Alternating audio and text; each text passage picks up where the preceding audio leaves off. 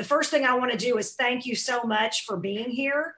Um, this is a really important process and there's a lot to do. And we're going to talk a little bit about how we might organize our time together. But uh, we're just so glad that you're here and all of the other crazy urgencies that we know are circling every single face on this screen.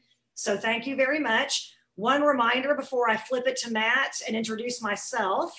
Um, this is a public meeting, so this is a board committee. So just remember, we're streaming uh, on YouTube on the channel. So I just wanted to make sure recognizes that and knows that um, what we're saying and sharing is something that um, all stakeholders can view if that's what their uh, desire is. So again, we're glad that you're here.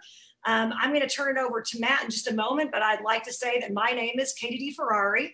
I know pretty much every face on the screen. There are a few of you I've interacted with very little, but I do know you. Uh, and if I haven't met you, I'm excited to meet you through this process and really excited to have you um, work with us uh, through the revision process for the handbook.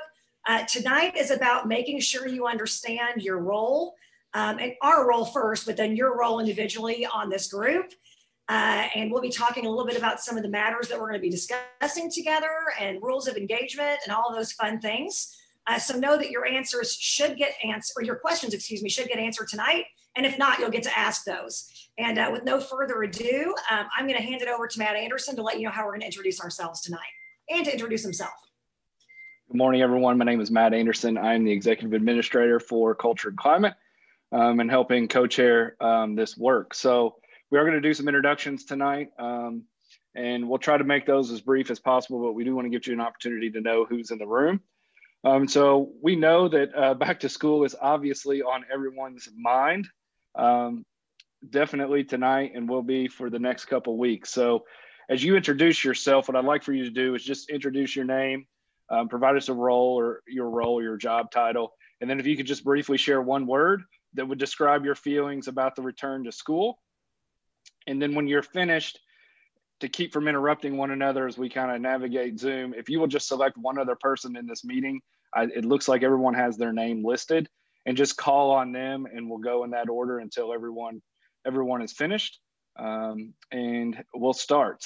So if I get one person to volunteer and get the ball rolling, um, we'll get going from there. Again, remember your name, your role or job title, one word to describe how you're feeling about the return to brick and mortar, um, and then pass it on to someone else. I'll be glad to start. I'm John awesome. Roberts. I'm the Assistant Director of ECE for elementary schools. And uh, I am excited because I have not opened a school year yet with JCPS. I started in July. And so uh, this is, I've had a lot of ante- anticipation building up to start. So I am super excited. I'm going to call on my colleague, David Allen, to go next. Hello, my name is David Allen. I'm an ECE supervisor for the high school zone. And like John, I have not opened a school year with JCPS either. I started in July myself. So I am uh, nervous and excited. Uh, I really don't know anybody else on here, so I'm going to just pick uh, Mr. Button. I'm BJ Button, currently uh, principal at Phillis Wheatley Elementary School, but we'll be moving to a new role as executive administrator uh, in diversity, equity, and poverty uh, here shortly. Um, I'm anxious uh, because you know I, am still principal and uh, still serving in that capacity and trying to get ready to open uh, reopen school, but also looking forward to uh, moving into my new role. Um, I'll pass it over to Principal Wright. I was kind of preparing that you might um, pick on me. um, my name is Duan Wright. I'm the principal of Hartstern. I have a definitely a dual role here. I want to thank the members of JCASA for joining us. I currently serve as president-elect of JCASA. I'm also um, serving um, um, the role of principal at Hart So uh, I also represent the, the role.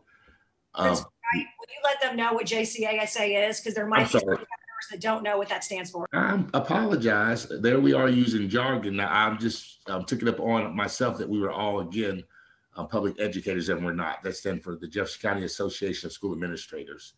Um, and there is a team of us on here that serve different roles. In my role, I currently serve again as elementary principal. My word I would offer is hope.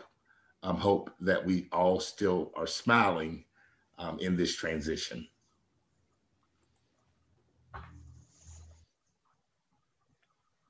I'm going to pitch it over to um, Ebony Booker, who also knew that would probably pick on her.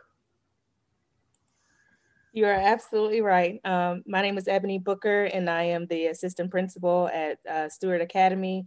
Um, and I also serve as the vice president of JCASA. Um, and my one word is um, interested um, as far as how I'm, how I'm feeling about everything. Um, and I think I will go over to um, Stephen Stark. All right. Um, I'm Stephen Stark. I'm the assistant principal at uh, Field Elementary. Um, so I guess I'm representing the assistant principal elementary role group. Um, my one word is I'm also anxious, uh, ex a little excited, a little nervous, all rolled into a lot of feelings. so um, I am going to pick on a very old friend of mine, Miss Crystal Hawkins. Hey, Stephen. Hey, Crystal. Hello, everyone. I'm our district's family engagement specialist, and I am excited. Um, I don't know if I can really say it in one word. What I'm really, though, is excited to make sure that our families get as much consistent information as possible because I know that as things are changing, that is really, really difficult. Um, but I just want to make sure that regardless of where our families are, that they're able to access um, really important information. So I am going to turn it over to my um, colleague that's joining me today, Cindy, to introduce herself. Thanks, Crystal. I'm Cindy Baumert. I work for National Center for Families Learning here in Louisville, and we are uh, contracted to support Crystal and all her wonderful plans for family engagement in the district. And I'm overjoyed that all of our teachers are vaccinated and Kentucky's or Louisville's leading the way. And I'm going to turn it over to an old friend, Kevin Brown. Thank you, Cindy. Uh, Kevin Brown, I serve as general counsel uh, to the district, so I'll be here uh, as an, in an advisory capacity to this group. Uh, my word is hopeful. And I will go to Miss Libby Mills. Hi, I am with Volunteers of America and I'm Senior Director over the Restorative Justice Program. And my word is anticipation. And I will pass it to um, my old friend, Roosevelt Lightsey. Thank you, Libby. I am Roosevelt Lightsey Jr. I'm uh, serve in a consulting capacity uh, with Dr. DeFerrari. Um, I also serve as the chair for the NAACP Religious Affairs Committee. Um, and my word would be prayerful.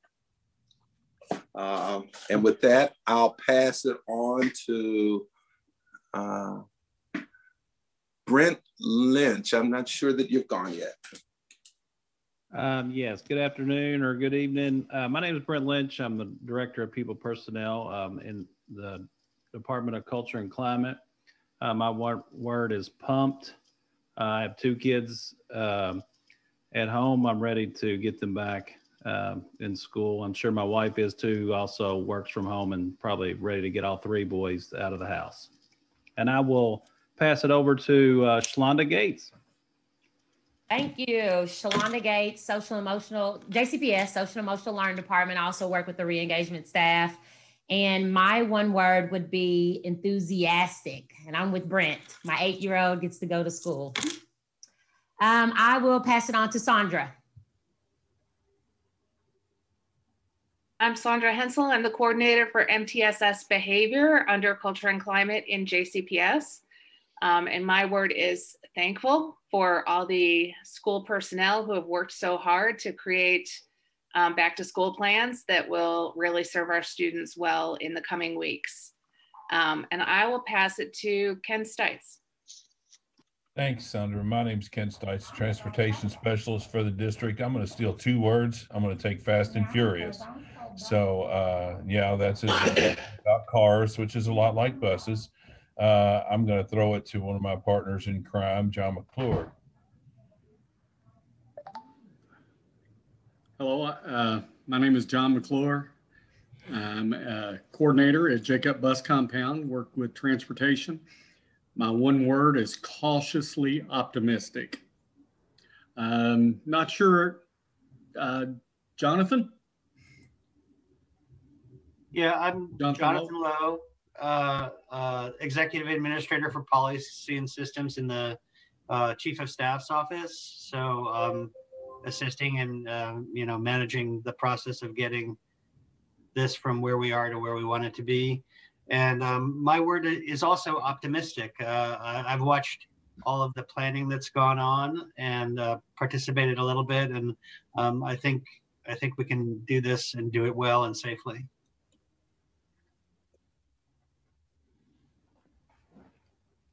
I need to choose someone. Um, how about uh, Deb Amchin?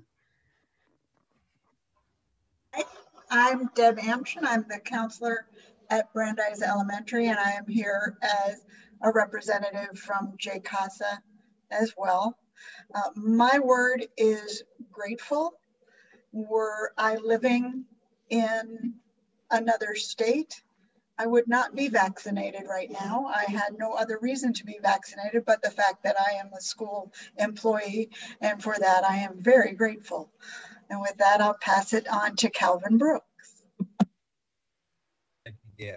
Uh, my name is Calvin Brooks. I'm currently the eighth grade counselor out the uh, at the uh, W.E.B. Du Bois Academy. Um, my word is uncertain, just uncertain to the point of just not sure what things are going to look like, but excited to get back into the building. So I will pass it on to, I believe Jason. Is it uh, Nias?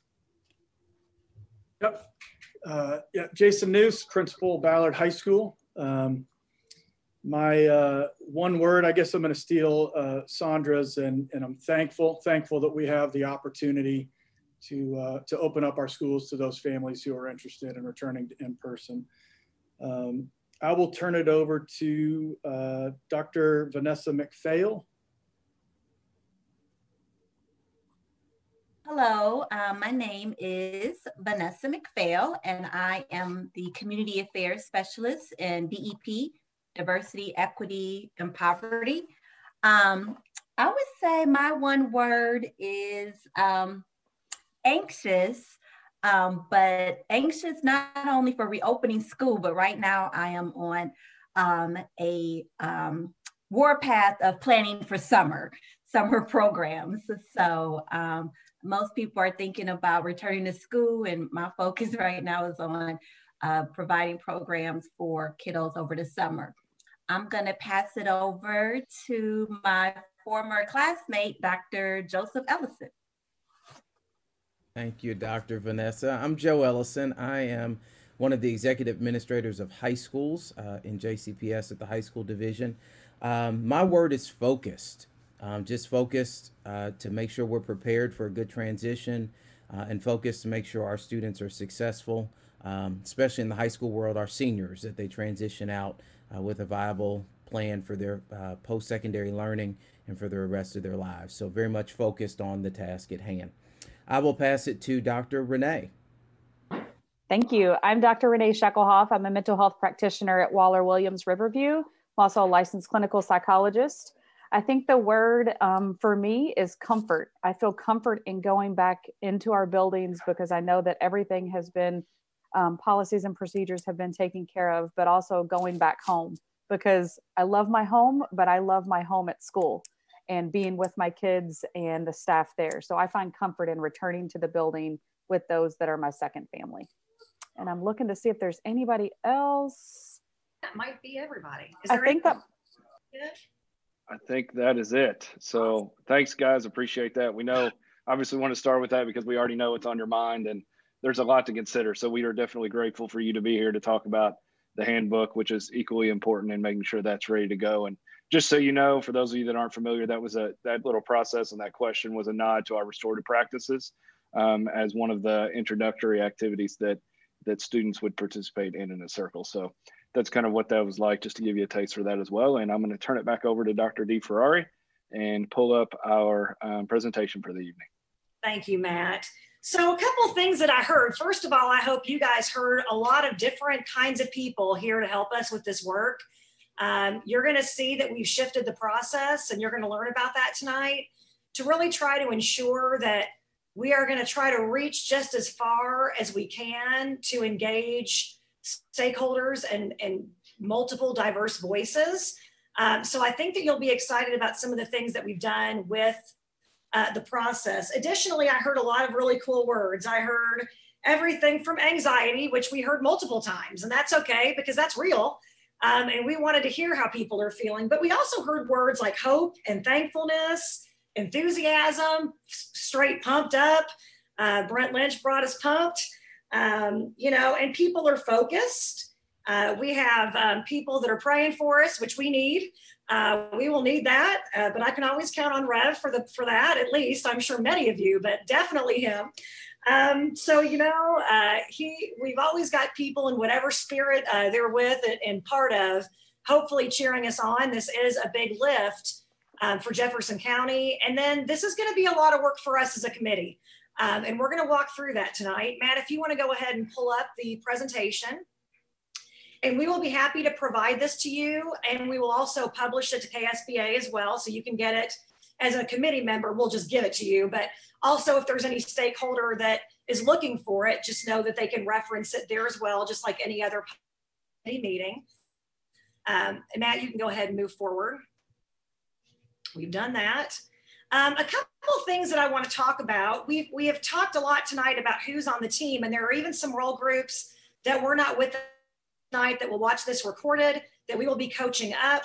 Um, but we really want to make sure you understand some of the resources that are on the team that are essentially non-voting members, but people that are here. Um, and you'll know what I mean by voting here in a few minutes, but people that are not necessarily going to be um, actively debating and deciding, but more functioning as support persons for you. Um, Matt and myself are people that are facilitating.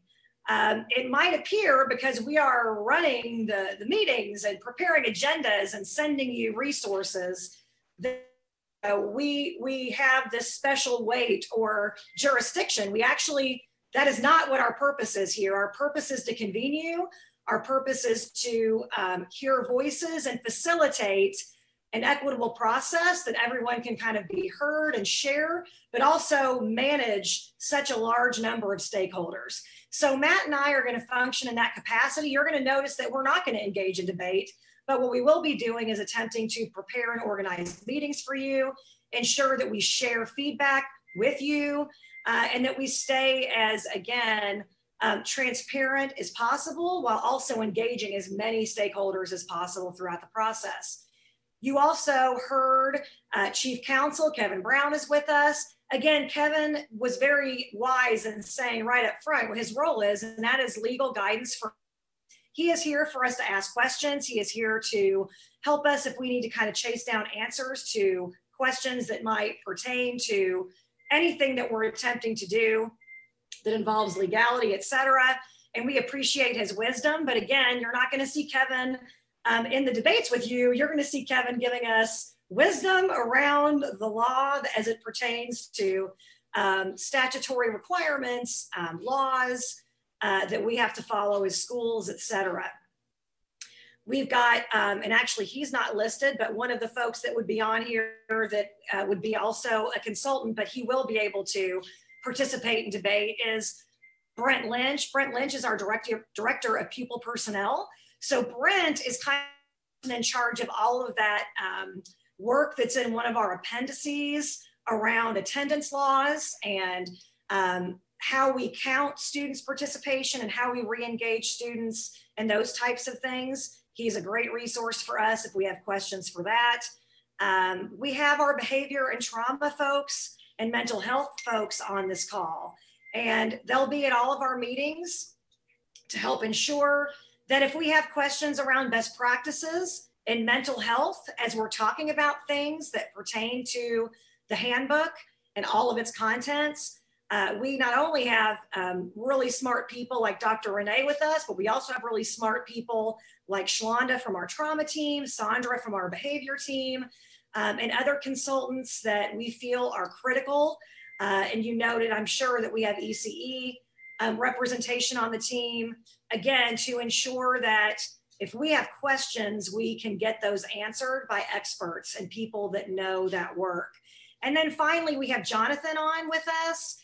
And Jonathan is our kind of guru of all that is JCPS policy, procedure, and keeping us accountable in regards to um, ensuring we meet deadlines that we understand um, you know, as we write things and we draft materials, he is our wise eyes and he will go back and be able to look at those things for us and give us feedback around where we might have um, some, some issues or how we might want to rethink the way we're communicating um, through this document. So again, I want to thank those people for being here because they're less representing stakeholder groups and they're more here to ensure that when we have questions around what research, best practice, and experts in a certain area would say about the general um, topics we'll be discussing, we have help. Now, the rest of you that are on this call are here because you're also experts, but we're expecting you to be experts in the things that you do every day, like leading school buildings, uh, counseling students, teaching students, um, being an advocate in our community, and all the other various things that people on this call do we very much appreciate you. But what we wanted to make sure we understood is we have people here functioning as consultants and we have people here functioning as representatives for their role groups. And as we start to talk through tonight's work, um, you'll very much understand what your um, work is going to look like in those different capacities.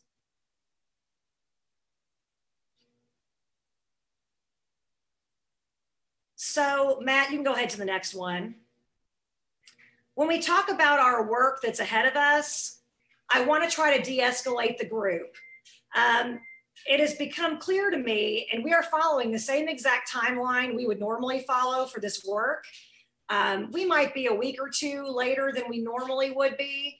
I think everyone understands that, wow, this is a unique year, right? We are in times and we are dealing with urgencies that we've never dealt with before. And when I say we, I mean every face on the screen tonight has a, um, a little piece of that urgency and all of the other things happening, not only just with the pandemic, not only with the social justice context of our community, but then also now the urgency to return to school um, and make that a safe, um, viable thing for staff and kids.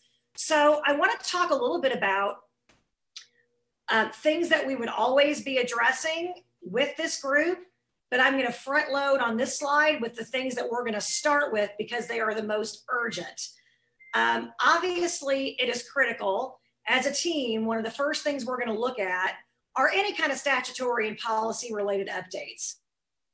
Document is laden with statutory language, definitions that are drawn straight from laws in Kentucky, federal laws and expectations, KDE procedures and guidelines. We always make sure that if things change, that we are adhering to the most relevant and current language um, and policy that exists. That is one way that Jonathan is a major resource to us. He has already been through and been working on those things so that we don't have to, but we will discuss those and look through those as a group, ask questions. That's one of the easier things that we have to do, but it is something we have to urgently do. The second one is that our exceptional children, our students with disabilities, we have always have changes happening um, with our expectations, maybe as a result of corrective action. Potentially, it is um, organizational changes in the um, district that require us to maybe reconsider a process or the way that we've communicated something to our families of students with disabilities and our students with disabilities. So that will be something we absolutely will address urgently. One thing that I'm sure people are thinking of is while we don't exactly know what requirements are going to be at the beginning of next year, and this document is for next year's use, we know we're going to have to make additions of COVID related guidelines around mask wearing and social distancing in the event that we are observing all of those things, right? And so we do have guidance that our board approved we'll want to make sure that relevant guidance that is included in that those materials that we are reviewing them again um, and that we are making any kinds of adjustments or considerations and that we're deciding where we'd like to include those and how That will be something that we urgently have to think about and address. Um, we also need to make sure that whatever adjustments we make for the first and second read for the board are reaped. And that is our racial equity protocol to ensure that we have addressed all of the areas that will impact our youth of color um, in Jefferson County, specifically our Black and Brown students. Uh, we want to make sure that we are really thinking about how anything that we add is going to impact those kiddos. And if we made it absolutely as equitable and um, supportive as we possibly can. And then finally, another element that is so new and going to be so interesting for us is the virtual school considerations. So, regardless of what happens next year, we know that forever now, we're going to have students that are in school in person and students that can choose a virtual academy option to receive instruction. And so, how are we going to think about what to for next year as we kind of really don't know entirely what to look like? Um, but we're going to need to think about what we want to include for next year and how and where. Um, and again, we have considerations from NTI that very much include most of the things you'd want to think about, at least um, from the behavior response standpoint and progressive discipline standpoint.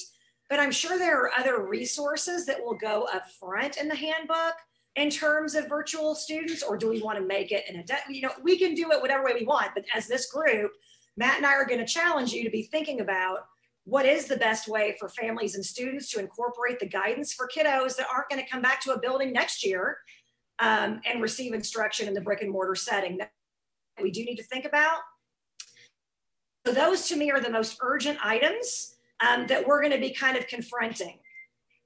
Now there's other items, and before anyone gets overwhelmed, you know, I, I think that we, we, we need to remember the fact that we're going to start with those really urgent ones because they've got to be done before we come back next year.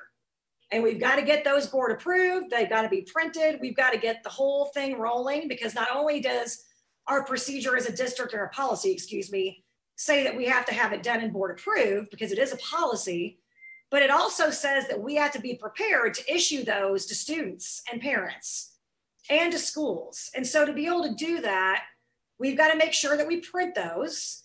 And to print those, we have to meet certain guidelines. So what I'm going to say is, if for some reason we struggle to get to these items that I'm going to discuss, we aren't going to not get to these items, but we're going to have to get to these items and ask for board approval and include them in type and print as we move forward into the next school year and potentially get them approved as addendums moving forward. We're just gonna have to see what time will allow. But I think as you see these and I discuss them, you're gonna recognize they're not things we wanna rush.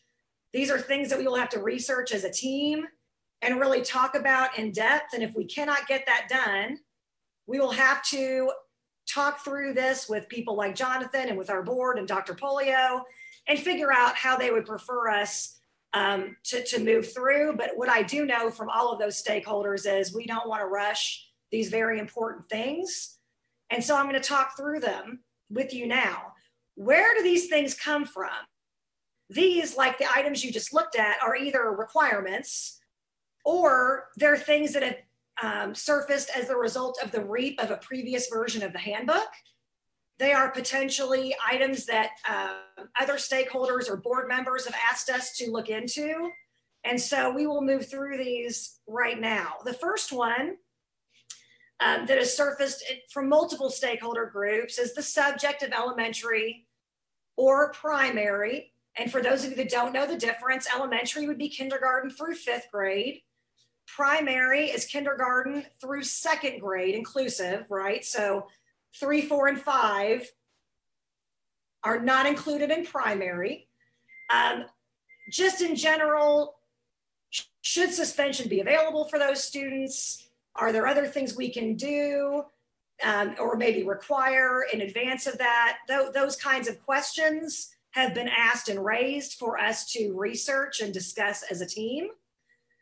One of these, and this has been recurring, and we've attempted to evolve with this. Anyone that's seen this discussion over the last few years, there is a debate or a discussion around whether our handbook is still as restorative as we would like it to be.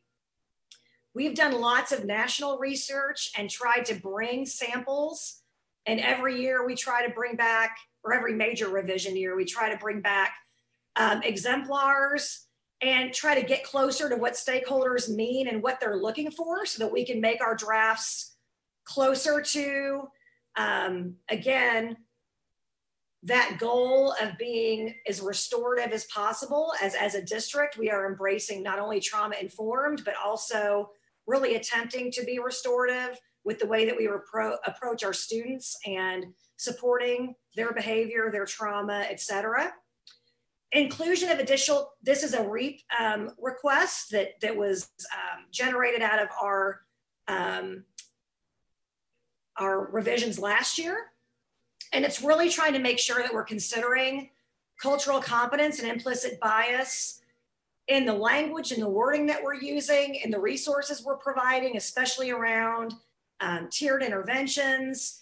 Um, are we being as explicit about including those types of items as possible, not only in language, but also in resources? Um, so we really feel like that's something that we have lots of different experts that can help us go through that and look through with a real critical eye at what is there and what should be added. And another component of that, um, specifically as we discuss this, which we will, um, a direct kind of byproduct of that from one of our REAP processes is looking at our behavior level language. And again, for those of you familiar with the handbook, we refer to language as a level one through four, excuse me, we refer to behavior as a level one through four. And so as we're talking about that, the request has been that one, we really consider the subjective nature of language that could potentially be in those descriptors and or have we also given some clear exemplars or it would look like this and it wouldn't look like this kinds of examples? We've had great success with our covid-19 behavior guidance and our nti behavior guidance that we've shared with administrators because we use examples and they really like that because it paints a picture for them about what that type of behavior or what that type of situation might look like. And we also feel like not only would that help our administrators that are attempting to consider these things, but also our students knowing what it means to do that and parents. Um, when we say that, that it's a level one and you know these are the kinds of things that you might see you know that your child might have exhibited at school these are the kinds of behaviors there are a couple examples now we could probably do a better job fleshing that out as a team so those are things that are and additional items as needed we're going to get to in just a moment because those are things your groups are going to bring us um, know that you're going to have a voice in this too and you'll have the ability to ask questions of me in just a moment, but I want to kind of get to a little bit better resting place and then we'll go ahead and fire off questions. But know that those additional items mean opportunities for role groups to bring concerns forward. And I'll give you an idea of what we mean by that. So you've seen my introductory email. Every one of you should have gotten an email from me that included a vision of some of the major shifts we've made in the work that we're going to do this year as an official district committee. And we've always been an official district committee, but we really tried to change the scope of our work to ensure one, added transparency, really wanting to make sure everyone knows what is going on if they want to, and that voices can be heard as much as possible that we're trying to engage stakeholders and feedback and ensure that again when we get to the table because every voice can't be at the table right? Or we would never get anything done. But by the time we get to the table each of you representing a group has ensured that you know how your group feels and that you've been able to communicate with that group effectively when that's not working, let me tell you what that looks like when we don't have that working. When it doesn't work, we have people say, well, I never saw any drafts of this thing. I only saw what went before the board of the first read. Or I, you know, I'm a counselor and I'm not calling out counselors. This is just, I just thought of. I have a counselor on my screen. I'm a counselor. And you know what? You know, I, they did that, made this change. It really impacts my role group. And I don't agree with that. And no one ever asked me when I thought about it. We want to make sure that, right? Because it's okay for folks to choose not to participate or engage, but they should have a chance, if they want to, to be able to do that through a very organized system. So, first, we created subcommittees to address exactly those two things getting the biggest, broadest span we can across role groups and ensuring that we're transparent. Any articles or research the committee's looking at, stakeholders can see. And any types of things that we decide to make decisions about, we have feedback from role groups, and there's been a process for them to offer that. And if I'm in that role group, I know I had the chance. I don't wonder when that happened or how it happened. Um, I know that it happened because it was well communicated. So, those are the things that is the purpose of these subcommittees. Who gets to have a subcommittee? The role groups we've talked to. So, the role groups, I'm going to give examples. Role groups are parents, and we're going to talk about um, Crystal's group. Role groups are the community, and you've seen community partners on the call. Role groups are principals, assistant principals, counselors, uh, teachers, of course. Students are a role group. So those are all the different role group examples. ECE is a role group for these purposes. They represent a large number of our students that are very much impacted by the work of this book. So those are examples of role groups. Each of those role groups has two of you on the committee. Why are specific people the faces that showed up tonight? Well, there's two reasons that you might be here tonight representing a group. One reason is because you already exist as a major partner or consultant in that capacity. Another reason would be you're an elected official. So we have principals elect representation. Those folks are who the association selected. The teachers union selects their two representatives. I will discuss groups like parents and students at, at the end. But again, you've either been um, selected, like the assistant superintendents, like Joe Ellison, that support this call, um, have been selected by his peers or his supervisor to represent district level administrators. So you've either probably been elected, you've been appointed by your supervisor or your union, or you're a, an amazing person like Crystal Hawkins potentially. Crystal identified herself as the leader that supports our parents in Jefferson County Public Schools. And wow, what an amazing, huge, huge responsibility Crystal wears on her shoulders every day. However, Crystal's role isn't to be, she is a parent, but isn't to be a parent representative. Crystal's role is to support in mobilizing our parents, to select their representatives, and to support parents as they're facilitating feedback, as they're serving their role group and their constituents, and to really make sure that they feel fully supported and capable of interacting with our group, but also having a safe person that they feel like they can trust that's going to be a neutral party, just helping them connect, make sure they know where, what, what's going on, that they understand the process, and that as they're innovating their creative ways to reach out to their stakeholders, that she can resource them as best as possible and doing that effectively. Similarly, we have Reverend Lightsey and Libby on our calls.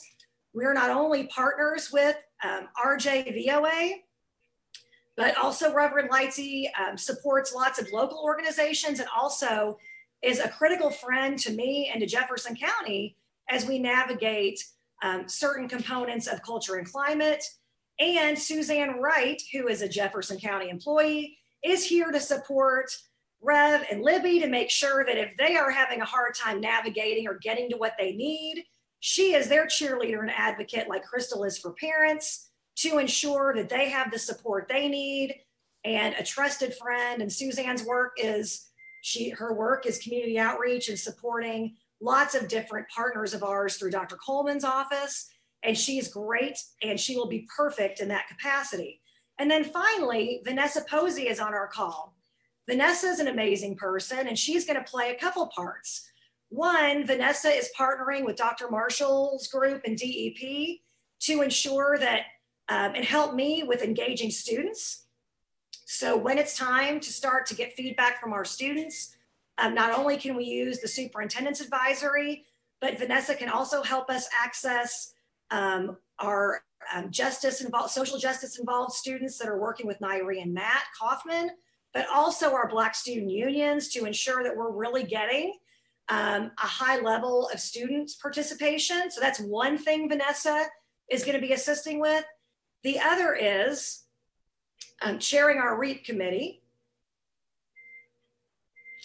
So, and I'm going to go back to that last slide, but I want to make sure you know that Vanessa is going to do this. And every single one of your subcommittees will have one person. So every role group will have one person on the REAP committee. And why are we doing that? Because it's one thing to have skin in the game through all the decision making. But it's also really important that we have a member from all the role groups. It doesn't have to be one of you. It can be a different member. You guys can choose that person, or it can be one of you. But we want someone from each role group to also sit on that committee for shared accountability, right? As we start to think about whether the decisions that you've made as a group or consensus building, once you've come to consensus and we start to have hard and fast recommendations for our board, we want to make sure that as we go through that process, we have a little piece of every role group there to kind of share, well, why might that, why might we have done it that way? Or, well, I understand your concern, but here's why we feel like it is equitable or it is safely representing that group, etc. We want to make sure everybody's voice at that table. And Vanessa is an amazing partner of ours in culture and climate, and she'll be chairing the REAP committee when we're ready to go through that process. And that will be something that is done separately. And we will not go through that together as a group. The only way you will go through that if you're on this call is if you choose to be that representative for your role group. And Matt and I will be getting those representatives from you down, not tonight. So know that you've got time to, to think about that. And Matt, yeah, if you'll go back one, perfect.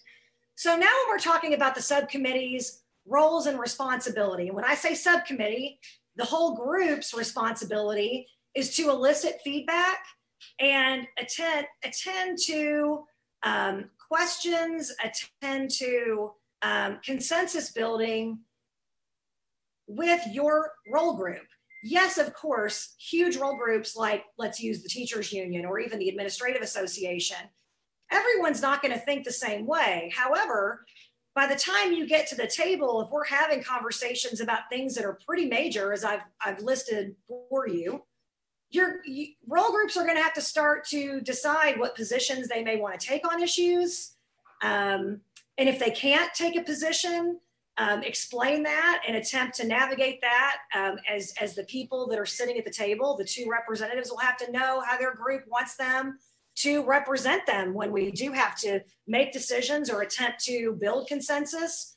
Um, it's a really important thing. As the two representatives on this call, your job is to get feedback. You can operationalize that in any way that you'd like. Maybe you decide that you want to convene some Zoom calls um, at various times with, and people can choose to come and, and offer feedback. Um, you may want to send out um, surveys or Google polls to your constituents. Um, here's what I'm going to say to you about that. I think if you look at some of the list of things that we discussed tonight, I think you'll see that it's really important, and it probably will be to your role group, that whatever you choose to do, you're maybe thinking of multiple ways to, to do that. Um, you know, maybe you do offer some town halls or Zoom meetings with just your role group where you guys can talk and kind of hash things out and answer questions. Uh, there's going to be times you're going to want to share research with people that are in your role group or updates with people in your role group. And again, you can choose to disseminate information in any way that you choose. You are free to do that. Um, what I would say to you though is, one, I would I would want to make sure that whatever you're doing, you're really capturing the voices that are giving you feedback. And you're going to have to find a way to kind of synthesize that for when we come back together. And the great thing is, you're going to know what topics to prepare. It's not going to be everything every meeting. So you'll know in advance what are we talking about during the next meeting? What might you want to solicit feedback on from your role group? You'll have all of that information ahead of time. When I talk about meetings and documentation, based off of my experience, because I've been a principal in AP and I've been a representative for JCASA and I've I have traveled those journeys in different roles that I've played. And there's going to be a couple things required and a couple things I'm going to suggest. You're going to have to let us know how many of your constituents engaged with you during the process of feedback between meetings. So if your work, you'll know what your homework is tonight. And so if you maybe get Google surveys and you have a couple meetings, we're going to want to know how did you talk to 30 people? Did you talk to 40? Did you talk to 10 or did you talk to 300? Um, just a round number so that we can try to gauge are we getting there? Are we really getting out there? And if we need to help or provide more support, what might that look like? The other thing that um, we'll want to make sure of is that you're keeping minutes. We'll want to make sure the subcommittees, at least we know what the agendas are and there are rough meeting minutes so that we make sure that if, if we need to make sure role groups understand particular updates or if there's particular laws or things that inform your discussion, we'll want to make sure all those things get covered so that role groups aren't having misinformed discussion lacking you know pieces and we would never assume you do that on purpose but we want to make sure that they've got all the information they need and no one has any more information uh, it's really important to us that, those, that those things happen in an equitable way. Those are things you'll have to do and we'll want to know when you had your meetings and what you did. Like crystal may say we had two town halls on these dates at six o'clock and we sent a google survey through parent connects to ask parents what they think about whatever. Great. Um, things I would suggest, and I'll give examples of why. I would suggest if you do Zooms or things that are virtual offerings that you record those. I don't care. I am not going to need those from you. What I would record those for are if constituents and your role group people can't be there. Let's say they want to hear the discussion, but they cannot show up when you have that opportunity. You'll be able to share those types of things. Again, I'm not going to need them. I'm not going to ask for them. You're not going to have to publish them anywhere. But I just think it's a great way to cover and have kind of proof, if you will, of what your group talked about and what kinds of decision making or debate occurred. I think that's going to be really good for you because I think as people start to learn more and hear more, they're going to want to well, what did y'all talk about? Well, I heard y'all met. I wasn't able to get there. What got, what happened? And so at least they can go back and look at it. Um, of course, you'll have minutes, but I think a video is a great way to just be able to say, here, go ahead and watch, and you can see what your peers shared, et cetera. Um, you know, I think that that's an important component. Um, the other thing that you may want to consider too is keeping actual attendance at the meetings that you have. So, um, you can be, you know, keep a record of that. Again, I'm not asking for that. I won't ever need that. That's not something I want from you. But if a, if a stakeholder asks a question or one of your role group members, you know, has questions, and you know, it may be something that at some point you'll want to be able to say, whoa, now hold on, we had meetings on this day and this day, and, and that individual maybe wasn't there as a person that used to have to answer to administrators or principals having represent or assistant principals counselors teachers whatever i think it's really powerful as the person that has to sit at the table and represent their voice to be able to show um, all the things that you did to make an effort to get that voice. Um, and if that's ever questioned you'll have what you need to be able to um, answer any of those questions Finally, every time that we meet, and Matt, I'm going to take questions before we move on from this. Um, before we meet every time, Matt and I are going to make an individual Google form for every single one of your role groups. It'll just be for your people. And the nice thing is you can just update it. So Matt and I have what we need and you don't have to be sending us documents and whatever. You can keep your, your other items, your recordings, your, your um, lists, if you keep them, that's all yours. We don't need that. We're never going to ask for it. The only thing that we will put on this Google form for you is what important agenda items. We'll put maybe articles, like at some point, we'll be giving you articles and resources for your role group to have access to, for you to share if we think they're relevant or helpful. Maybe some of you are like, hey, Katie, um, I've got a great article on that very topic, and I haven't seen, you know, you and Matt, it doesn't seem to be on your list. You send that to Matt and I, and we will go ahead and get that to everyone so everyone gets to see it. And that will be the way that your role groups and Matt and I individually share back and forth with each other. And we keep track of those very important things like the minutes from your meetings, the dates that you have meetings. Because remember, Matt and I also have individuals that we're accountable to to ensure that we are making sure we are trying to get as many voices to the table, um, as many opportunities for feedback as possible. So I might get asked, you know, so far total, how many stakeholders have kind of weighed in on these recommendations to this point? Um, that'll be something Matt and I can go back and look at. Matt and I can also look and see if we're worried, like we know you have a massive role group and your numbers are, oh my goodness, Bella. No, guys. Um, excuse me, I've got my little my little minions back here, my little Yorkshire Yorkie Terriers. Um, but we'll be able to look and see if we think you might need some help right? So maybe you are stressing because you, like Jason Neuss, you're getting ready to open a school uh, in a month, uh, and you're you're just you know you're having a hard time. Well, is there a way Matt and I can can help you? Is there a way that we can do anything to support and lift the load on some of these initial items? We can kind of be able to see and gauge if there aren't meetings posted and there's not much going on. We can kind of say, hey, we see that you're struggling. What can we do? Or who can we talk to to support you and get you the support that you need? Again we're helpers. We don't have a position. Our work is to support you so before we and oh, of course we are going to ask and i'm not going to ask it publicly we will go through and individually ask you if the google doc is something that you are not able to use that you have challenges with using we will make sure that we help you figure out a, a, different way to do it. Or if you want support to learn how to do it, we can do that. Again, for folks like Crystal and Suzanne, we've got them helping to ensure that they can help facilitate and, and provide kind of a support to our other parent community groups, et cetera. But if that is a challenge for you, Matt and I will be making sure that we remove that barrier. So do not stress if you're like, oh my gosh, Katie, that is not a way that we're comfortable in interacting with you and Matt. If that's not a way you're comfortable, we will come up with a different way that does make you comfortable. So please don't let that um, give you any anxiety tonight. So before we move forward,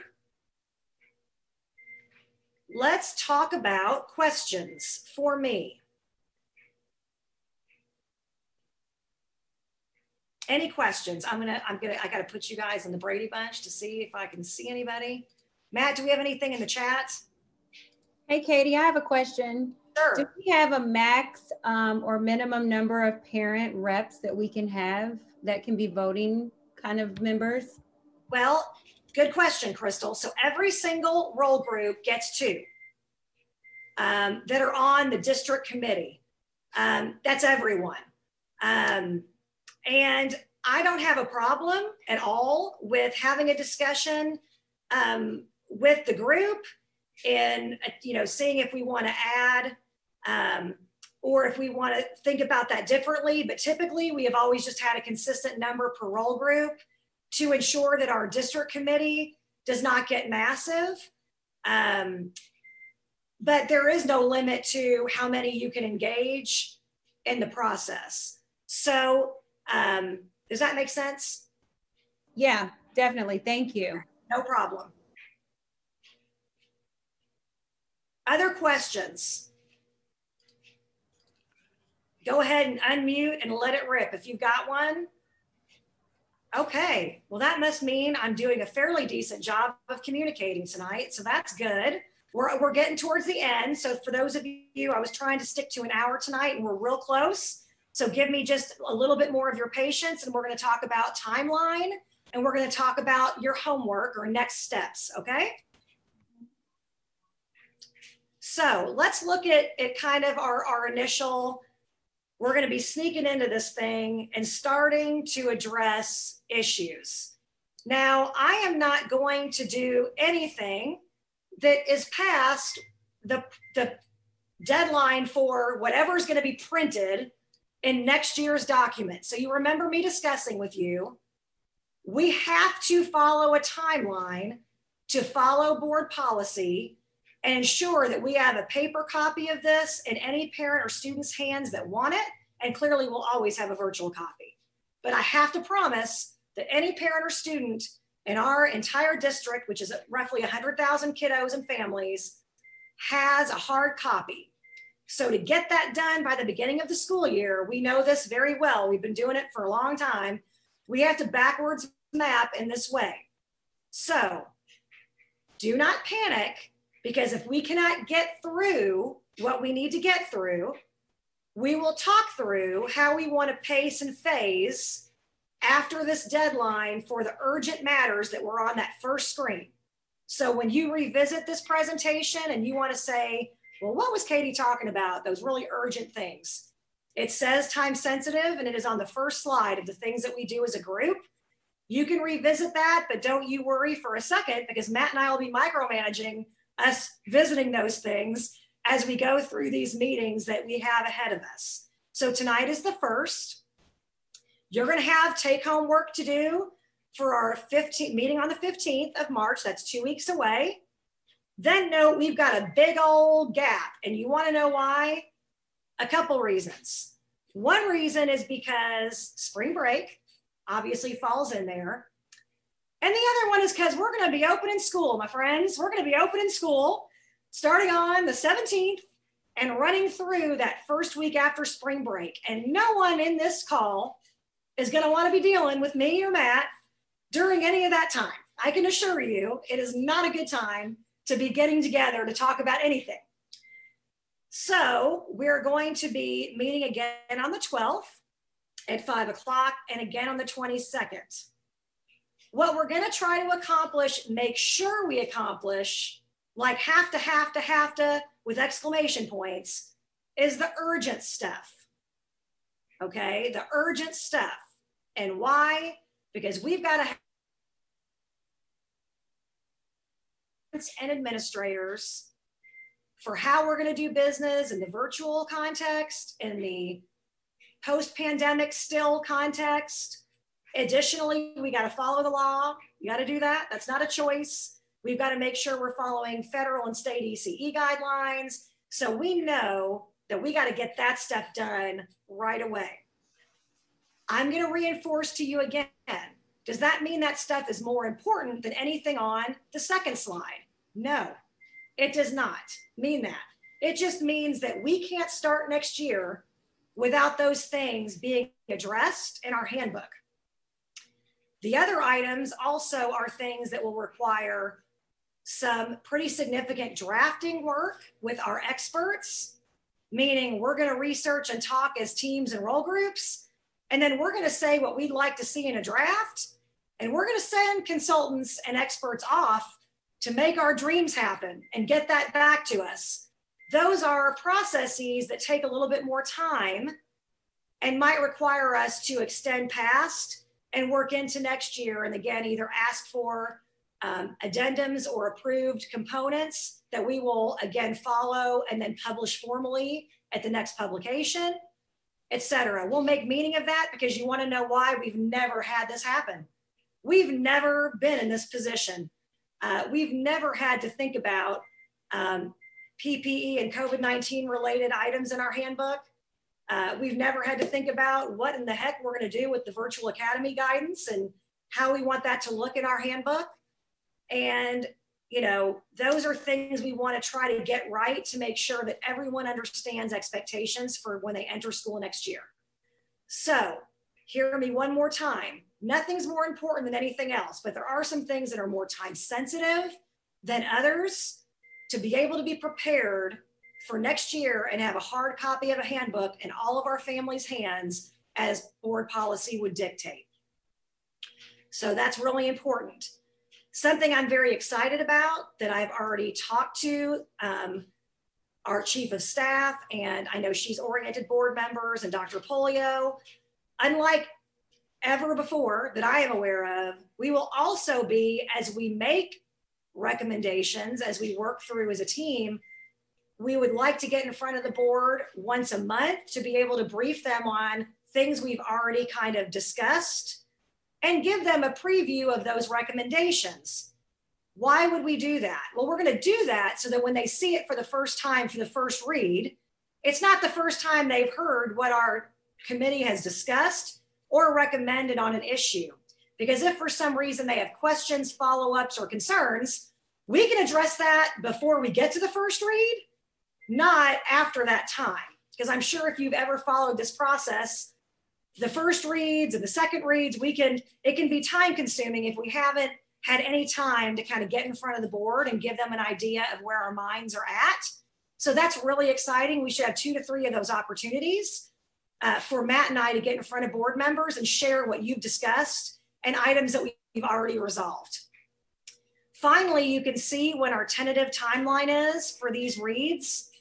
I know it sounds crazy, but for us to have those books printed and, and in someone's hands, edited properly, um, and, re and, remember, our material, materials and productions people do amazing job editing that thing. And this is wonky stuff that you would never think of, but they have to have time to make the table of contents. They have to have time to make the index. We also have to make sure it doesn't exceed the number of pages that we've bid to the publisher, which is already done. That's already done.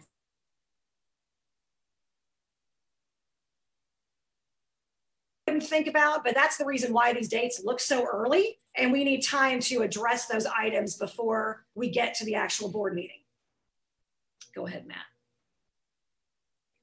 We're going to work on norms when we meet the first time to actually do work. So we'll get back to these because you'll be part of building those. So how can Matt and I support you? I just want to remind you of a couple things. Matt and I are here and we work for everyone on this call. We're here to support you. We are here to make sure that all of you have the same resource and access as everyone else in every other role group. We want to ensure that no one has more or less information. It's really important to us that we navigate this in a way where everyone feels safe and also that nothing's happening that they're not aware of. The second part of this is connect you to experts and consultants. I cannot say this more use the people that are here as experts and consultants to give input. You can ask them to be at a role group meeting if that would be helpful to you.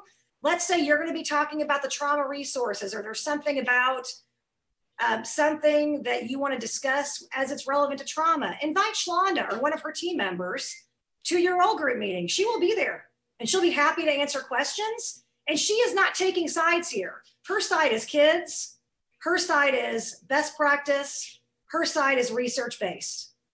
That's what her side is. She'll be happy to show up.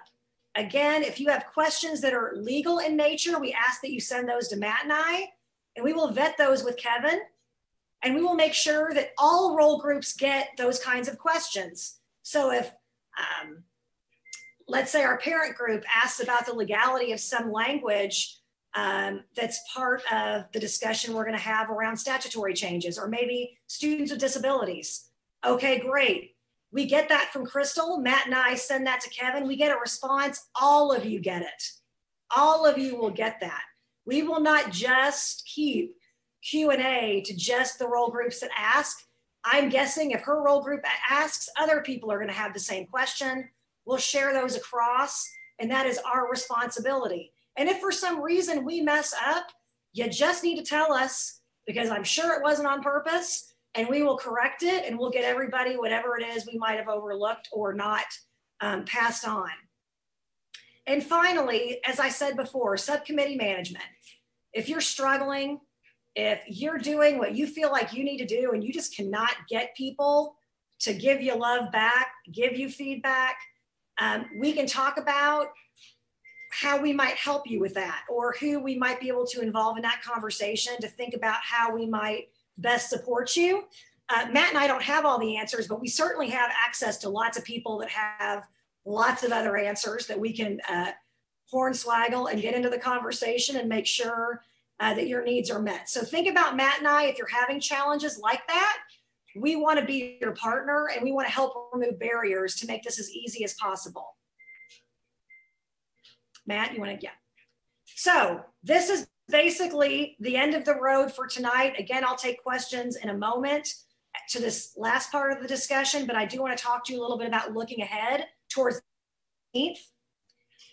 First, we want to make sure that the two people on the call are the two people that are going to be representing your group moving forward, or if you're like a crystal, you have and solicit the two that you want. When we start talking about stuff, input and putting statutes in front of people and, and asking critical questions, we want the real players at the table the next time so that they, ha- again, the role group's voice is heard. So we really want that you hammer that down. Some of you, between when we initially had appointments from your leadership, maybe one of your persons can't do it for a certain reason, or that's not the person now that you guys want representing you. Now's the time to tell Matt and I who it's going to be because when we hit the road next time on the 15th, we're making decisions, we're having conversation, we're going to be, you know, breaking out into groups and sharing. You're going to want the people that you want this process present on the 15th. And whoever's present on the 15th should be able to be consistently present. If you have one meeting that you know is a challenge, I've had several of you that are so on top of it. No, there's one meeting that's a challenge. We will make sure that we address that with you if it's one. If it's half, we've only got four or five. If it's half of them or more, probably you do not need to be the person representing your group. Because if we do need to get to the democratic process for any reason, which rarely we need to, but if we do, you're going to want to make sure that your voice is heard. And proxies are not the way we can do this. So we just need to make sure that if you need a sub or something, please contact Matt and I. But really, it should be a person that's present and heard the conversation and really able to speak for your group. Um, finally, you're going to be seeking feedback from your role groups just this time just this time, the only feedback you're bringing back to us this time is going to be after discussing those major rocks that I told you that we've got to cover, both time sensitive and not, are there any other burning issues that are of concern to your role group? Is there something to be added to our agenda, our list, time sensitive or not? that would require some research and discussion because we're just not getting it done correctly the way that it is now. So that would be outside of what I've mentioned that's bubbled up through the REAP, that's bubbled up through other board member concerns, conversations, or challenges that are statutory changes in nature that don't involve level language, that don't involve the restorative nature of it, um, that don't involve adding more equitable, culturally sensitive um, terminology, addressing bias. Those are things that are there. If there are things that are not there that are of concern, we would really like you to bring those back so Matt and I can include them in our timeline and in our, our work plan, right? Because it isn't just about us discussing what is important. We're bringing you what other people have told us they think need to be addressed. You're part of the group. So if there's something else as you just your role group, uh, we want to know that. Additionally, we're going to probably be, we're not going to probably, we are going to be publishing to those documents resources and things that we will want you to look ahead at so that you can organize your time regarding certain topics and things across these next meetings so you can be effective in scheduling opportunities to meet with your role group you may want to kill a couple birds with one stone, right? And not meet with them in between every meeting. That's totally cool. Okay. But just know that we're going to lay that out for you, what we're discussing at each meeting, so that you can be planning. And we want you to be able to plan effectively and be able to engage your stakeholders as you see fit and as best works for you. All that we'll need to make sure of is those forms are complete to us before the next meeting and we'll give you a deadline and it will probably be the afternoon of the Friday prior, which is not bad at all. That gives you multiple weeks in every situation to be able to get those completed. Why might Matt and I want these Google Forms complete time? Well, what it's gonna do is it's gonna help us build our resource presentation, build our breakout groups, and do all of those things to make sure that we hit the ground running and use your time effectively. If we don't know where your role group is in regard to their position, concerns, pluses, deltas, whatever it is, depending on the issue, it's very difficult for us to ensure that we make good use of your time during these meetings, that we group you in ways that are supportive and helpful, and us reaching consensus or decisions around recommendations. So if we can know what we are going to be dealing with from your role groups prior to, then Matt and I will then inform the way we set up breakouts, the way we admit, we might need to do some research over the weekend because some role groups generate some needs that we haven't covered in the articles or things that we've already provided. So hopefully you can see that that's not to babysit you, but that's to ensure that we can use your time effectively and, and allow people to have really strong conversations that end at the end of the evening in productive recommendations to the board. Okay, that's really what we need to do. And we've got to meet some time constraints. So we're going to be pushing you to get feedback, but also talk amongst each other. And let's start making some decisions if we are prepared to do so. And if we are not, what do we need from our role groups and to provide for you to get where we need to go. So, what are questions? I see a ton in the chat. I saw the numbers go up, but I have no idea what's in there. So let's look at that first, Matt, and then we'll take questions that are not in the chat. I think I think we're good. I think most people just had a question about the the other person in the role group, so or the PowerPoint. So just know I'm as I put in the chat, I'm going to be sharing the PowerPoint and the overview of the role groups um, and the particular people representing those role groups. So if you have a counterpart, you're, you're clear on who that is and you can see where everybody fits in. Yes, and the other thing that Matt and I are going to share with you is a document that, that outlines this entire process. It talks about the subcommittee, their role. It is detailed and narrative. You, it, it explains everybody on this committee. If there are changes, we will make those changes because I'll end up sharing that document with you in Google, but I'm also going to send it as an attachment to an email, old school style. But when we share your Google Doc, you'll have a link to it. And if people change, like let's say after today, um, the, um, I don't know, any person changes, we will make that change. And anyone that understands Google knows that that's live to you. So if I make a change, you'll be able to see the most current person representing. Um, and you'll be able to know who's representing which role groups. The other thing that you'll really like about that particular document is it tells you who are voting members and who are not. Um, and how did we decide that? We decide that because either you're literally named in the board policy as a stakeholder that should be included, but also you are a you are basically directly impacted by the document, right?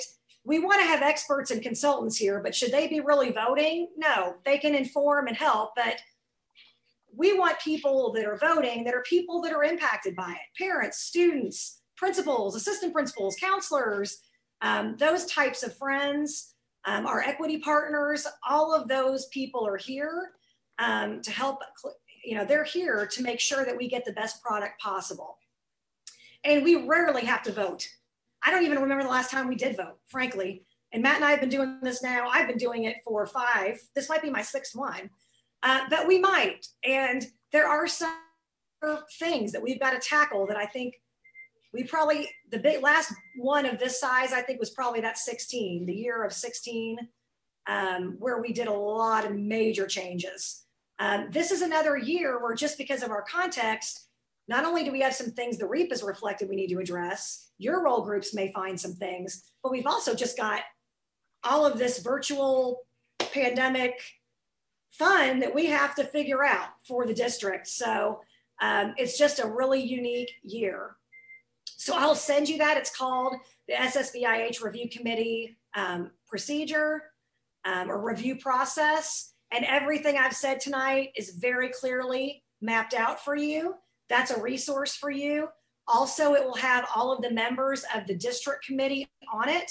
And again, you'll see indications of who um, those stakeholder groups are that um, have voting rights if ever need to get to that.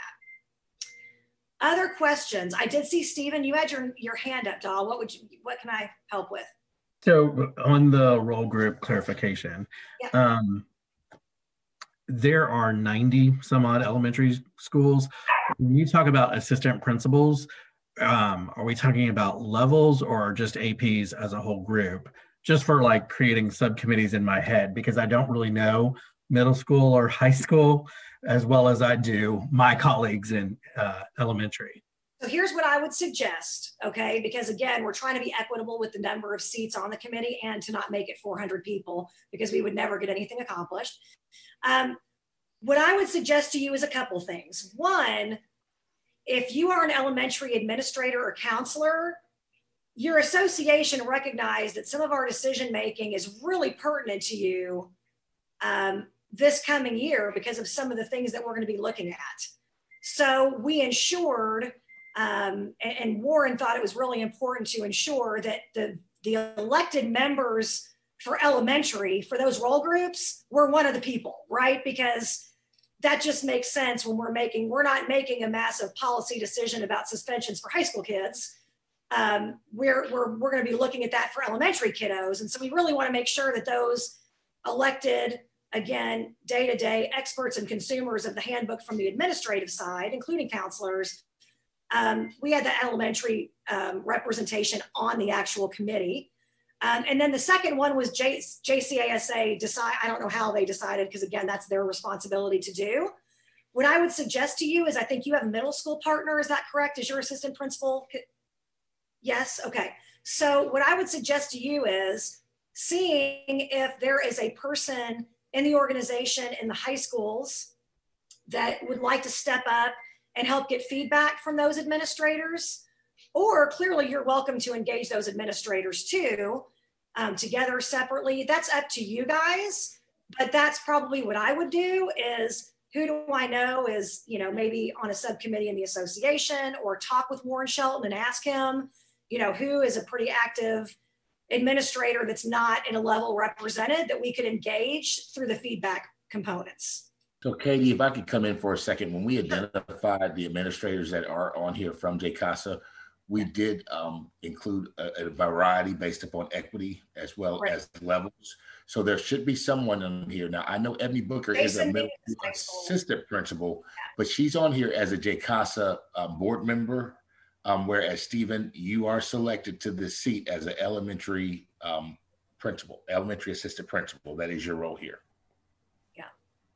And I think what he was asking is if he needs to get support on, like, let's say it's an issue that has nothing to do, well, I mean, he needs to get feedback on any issue, but if it's not specific per se to elementary school and it's just in general, Stephen, what I would suggest to you, if it feels really big and you think, it would be more intimate and appropriate to, to, to talk about something by level, then I would suggest finding a partner in the association at the high school level as assistant principal and engage them to help facilitate those uh, with you or separately.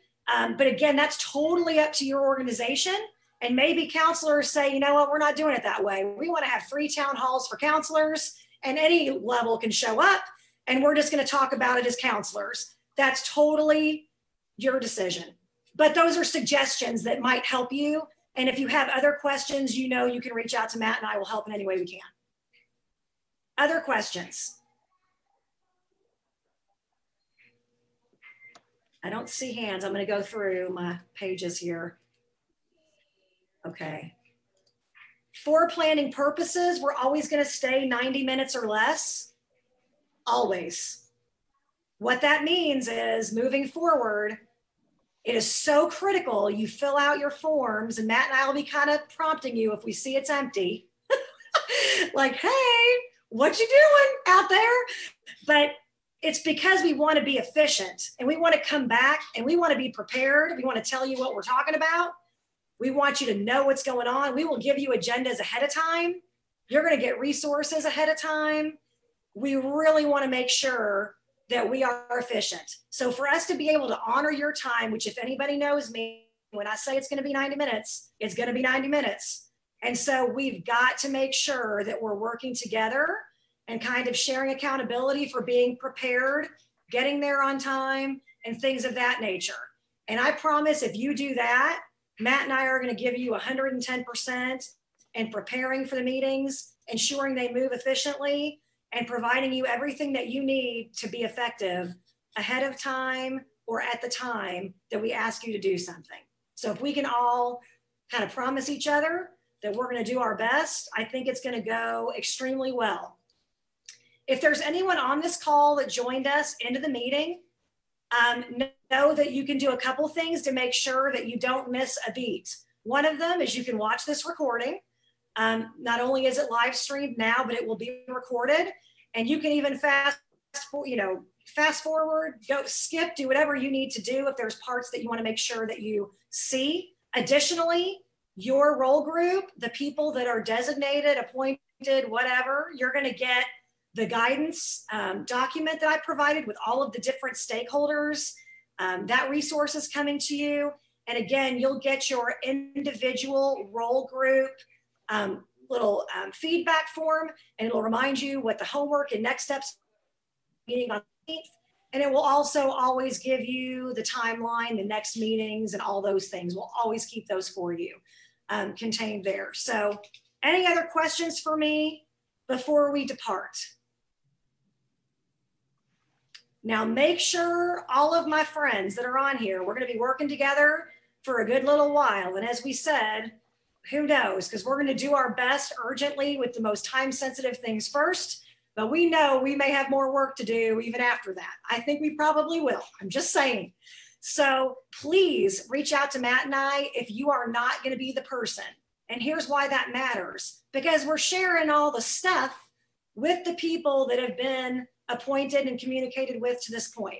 So tomorrow, Stephen Stark is no longer going to be representing elementary schools, which I know isn't going to happen because he's amazing. But if it happens, we're going to need to know, Matt and I, who that is so that we can quickly correct that problem and ensure that your people have all of the same tools. Again, we don't want anyone to not have something someone else has, whether it be answers to questions, whether it be resources, articles, agendas. We don't want anyone to feel left out. And Crystal, as soon as we get names from from you about parents, they will be right on there and in the mix, just like everyone else. Um, so know that it is our effort to ensure everyone has all the information they need and that we give you everything you need to empower your role, role groups to have all the information that they need to give you feedback and, and share their voice. Any other questions? You know where to go on YouTube. You go on Jefferson County Board of Education. That's where this meeting recording will be. If you have any questions for your stakeholders, they can go back and watch this if they didn't tonight. And uh, you'll have all of the things that you need to be dangerous in just a few, you know, in just the next day or two with all these resources I've promised. And you can share those with holders as well. Anything we give you, you can share. So don't feel like you can't share anything we give you. You absolutely can. That's what we're giving it to you for. So know that that is stuff that you can have and share. I've taken more of your time than I intended, but I did not go over my 90 minute rule and I never will. So again, you guys, Matt, you have anything to add? Matt has been taking notes like crazy. We will have minutes for our meetings. That's what Matt's been doing. We'll share those with you as well. And you have a recording. So that's why Matt's been quiet because he's been running the PowerPoint and taking minutes like a mad person. So you'll get access to that. And tonight's PowerPoint will also be shared with you uh, on your individual Google role group sheets. And this is on KSBA as well. The presentation will also be on KSBA. No other questions? Okay, you guys are fantastic. That means you're smarter than anyone in the world because you've been quiet, but I've been, you've been engaged, and I appreciate that. Um, and again, I look forward to seeing you on the 15th. We will have a lot of very organized work for you to do at that time. Get ready. Get ready for the ride. And again, don't forget, we're enthusiastic, we're anxious, we're excited, we're hopeful, we're prayerful, we're thankful that we're going to get our kids back um, here shortly in person for some. And we're going to continue to engage our wonderful kids and teachers virtually, whichever way they do it. We hope that it's safe and productive. So thanks for being with us tonight, and we'll see you.